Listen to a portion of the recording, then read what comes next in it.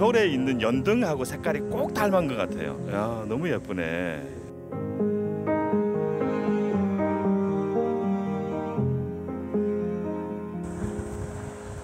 아 공기 좋다. 바람도 좋고. 예. 날씨가 좀 흐리긴 해도 비가 안 와서 정말 다행입니다. 비가 요즘 너무 많이 옵니다. 아, 바람 좋다. 예, 도시에서 이렇게 조금만 벗어나도 공기가 이렇게 좋습니다. 아우, 바람도 좋고 너무 좋다.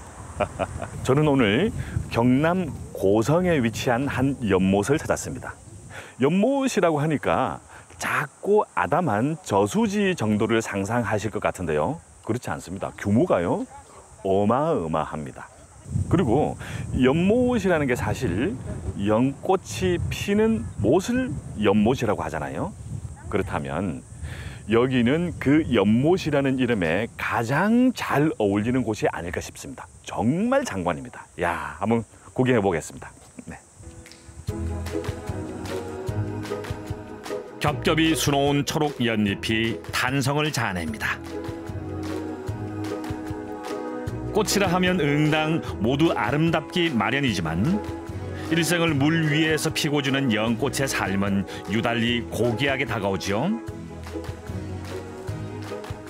그리고 매년 여름 이 고귀한 연꽃의 가치를 널리 전하고 있다는 한 사람. 아유, 아유 안녕하십니까. 안녕하세요. 네, 반갑습니다. 저 반갑습니다. 상리 연꽃 마을 예. 맞죠? 예, 예. 아, 지금 그 보니까 규모가 엄청나고 예. 굉장히 아름답습니다. 이곳 좀 소개 좀 부탁드릴게요. 네. 20년 전에 예. 새로 저기 보이는 한 50여 가구 그 문화 마을이 조성이 됐거든요. 예, 예. 그때 이제 요 요 앞에 보이는 요것만 저수지였고 나머지는 이제 논이었는데 그걸 우리 고성군에서 그 이제 그 구입을 해가지고 확보를 해가지고 연꽃 마을을 조성을 해 놓은 거죠. 예, 옛날 우리 논으로 따지면 한 200마지기 200마지기. 예, 한 6천 평 정도 와. 정, 도 됩니다. 예, 예, 예, 예. 이 마을 이름이 예. 척 번 정리라고 예. 합니다. 이게 되게 이름이 지명이 독특하거든요. 이, 척번정이 예. 뭔지 설명 좀 이, 부탁드릴게요. 이 마을은 예. 옛날 그 신라 시대 화랑들이 놀던 곳인데 화랑들이. 화랑 화랑도들이 놀던 곳인데 예. 척번정리라는 말은 씻을 척자 번네 번자 그 화랑들이 아주 그 수련을 열심히 땀 흘려 하다가 에, 밤이 되면은 내려와서 몸과 마음을 깨끗이 씻는다는 그런 뜻으로 척번정리입니다. 하하, 만나자마자 시작된 폭풍 질문과 열혈 해설. 그런데 이보다 더 중요한 건 따로 있답니다. 연꽃이 이렇게 하루 종일 피어 있는 게 아니라고 들었습니다. 피는 시기가 뭐 시간대가 따로 있나요? 예, 주로 이제 요 수련은 아침부터 저녁까지 그대로 피어 있는데 예. 우리가 백년, 홍년, 청년 하는 꽃은 잎이 넓게 피는 꽃은 예. 한 10시나 11시쯤 돼서 만개를 했다가 해가 수그러지면은 꽃도 이제 오물어 들어가지고 이튿날 다시 이제 벌어지는 그런 특성이 있습니다. 아, 그럼 예쁜 그 풍경을 보려면 오전에 오는 게 좋겠네요. 예, 한 10시나 11시경에 오면은 만개한 모습을 구경할 수가 있습니다. 즉 부지런한 사람에게만 내어준다는 이 청초한 얼굴. 와, 연꽃 색깔이 너무 예쁩니다. 저 수련이 그 연등하고 비슷한 색깔인 것 같아요. 그, 리고 예. 저, 절의 신도들이 좋아하는 꽃이기도 하고 이 꽃은 피어날 때부터 아름답게 느끼기도 한답니다. 때 맞춰 일찍 찾아오길 참 잘했다는 생각이 듭니다. 찰나의 아름다움을 마주할 수 있는 호사 마음껏 누려보는데요. 연꽃이 굉장히 좀 다양한 것 같아요. 색깔도 다양하고 모양도 좀 각양각색이거든요. 연꽃의 종류에 대해서 좀 설명 부탁드릴게요. 연꽃을 한자어로 하면은 부용이라고 합니다. 부용. 부용이라고 하는데 우리가 연꽃을 하면은 물에 붙어 있는 거 수련하고 그다음에 물에 둥둥 떠 있는 요거 연꽃하고 합해서 연꽃이라고 하는데 둘 다 둘 다 이제 중국이나 인도가 원산이고 이거는 연꽃은 꽃의 종류가 있는 게 아니고 색깔에 따라서 붉으면은 홍련, 아. 예, 희면은 백년, 색깔에 따라서 구분을 합니다. 그래 요즘은 예, 노란색도 있고 자주색도 있고 개발이 돼 가지고 여러 종류가 있죠. 가만히 들여다보고 있자니 스르르 잦아드는 여름의 피로. 거기다가 연못 한가운데 호젓하게 자리한 정자가 고풍스런 분위기를 전해줍니다. 예, 우리가 그 연못 가운데 지금 정자를 지어 놨는데 여기에 연꽃 냄새를 맡으면서 즐거운 시간을 보내려고 했는데 리포터께서는 연꽃 냄새가 지금 납니까 어떻습니까? 전혀 안 납니다. 지금은 이제 이 바람이 불고 이런 날은 가운데 있으면은 은은한 그 연꽃 냄새를 맡으면서 연꽃의 덕에 취해서 즐거움을 느끼라고 만들어 놨는데 실제로 에, 감각이 예민하지 않는 사람은 즐거움을 잘 못 느끼는 그런 실정이죠. 감각을 예민하게 하도록 하겠습니다. 유수한 연꽃 풍경 감상하다 보면 앙증맞은 객식구 달팽이와 올챙이는 물론 너른 연잎에 도로록 맺힌 물방울이 동심을 깨웁니다. 그리고 상리 연꽃 공원의 가장 큰 매력 포인트. 징검다리가 있네요. 아, 굉장히 운치가 있습니다. 꽤 이게 길이가 꽤 이렇게 예, 어, 한, 한 예. 4, 50m 되지요. 예, 예. 근데 기, 뭐, 보기에는 한 100m 이상 되는 것 같아요. 까마득한데요. 아주 야, 이게 물 위를 걷는 느낌이 너무 좋습니다.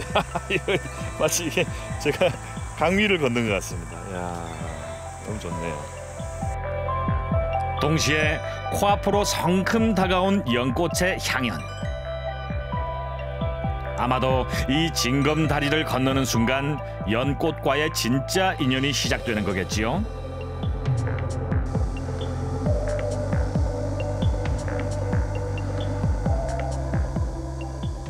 아, 선생님. 여기 표지판 이게 뭡니까 이게? 예. 요게 이제 우리 그 사람들이 연꽃을 다 좋아하는데 예, 연꽃은 사람들이 본받아야 할 열 가지의 덕이 있답니다. 우리 요 공원에는 요 열 가지의 덕을 요렇게 그 표지판으로 만들어 가지고 알려주고 있는 건데 여기 있는 요 요거 생이 유상이라고 하는 것은 이 연꽃은 태어날 때부터 다르답니다.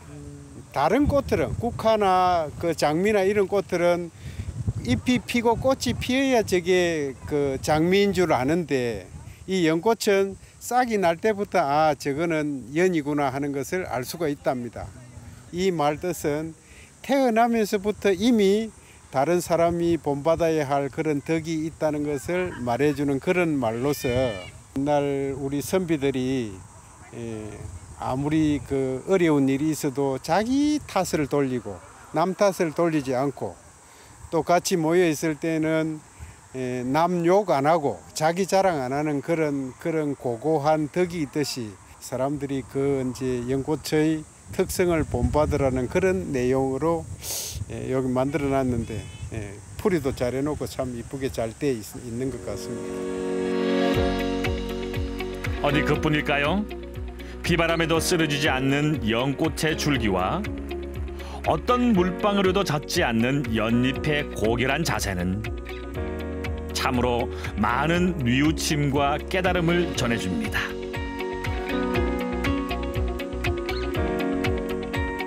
오늘 날씨도 흐리고 그 평일임에도 불구하고 관광객분들이 굉장히 많이 오셨거든요.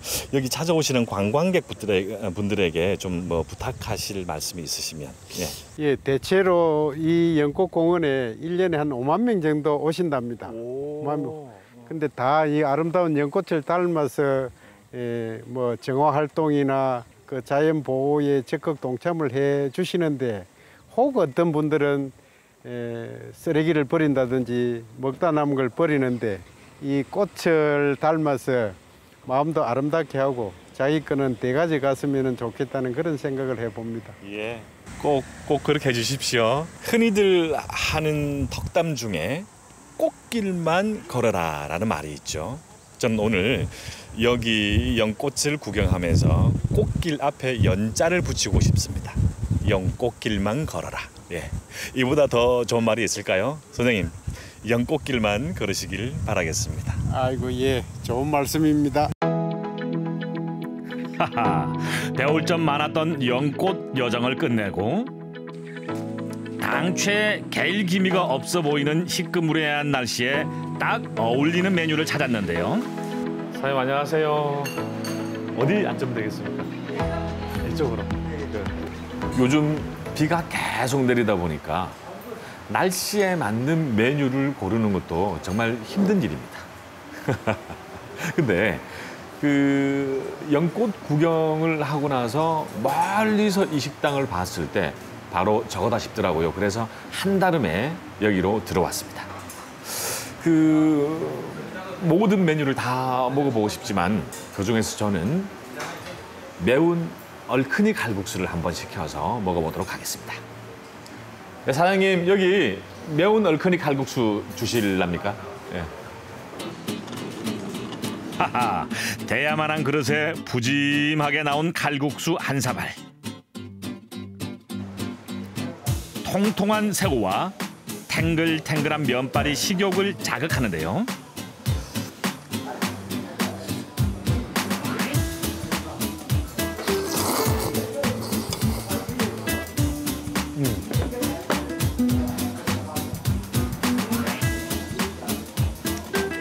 비 오는 날 정말 탁월한 선택입니다. 야 면이 일반 그 면발하고 다릅니다. 여기서 직접 만든 면 같아요. 탱글탱글합니다. 쫀쫀하네요. 쫀득쫀득하다 그래야 되나요? 쫀득쫀득. 우리 저 맛있는 회를 먹을 때 식감이 좋잖아요. 칼국수가 식감이 있네요, 식감이.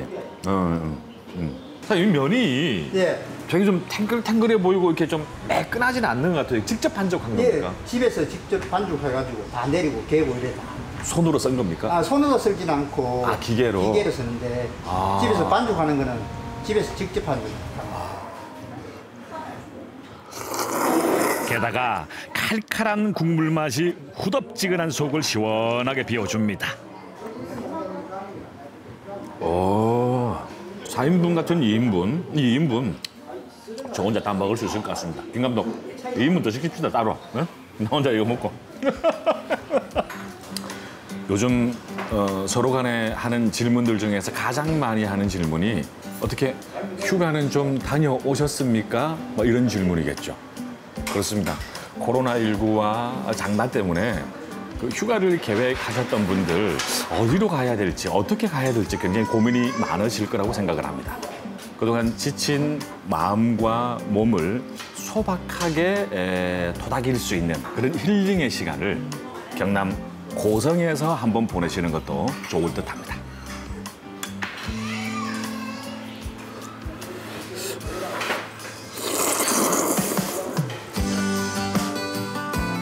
탁하고 부연 흙탕물일지라도 연꽃은 끝내 맑은 꽃을 피운답니다.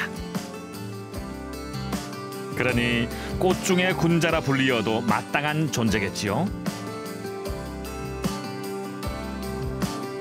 강당과 기품, 덕과 지혜를 간직한 상리 연꽃. 고성에서의 청한 하루였습니다.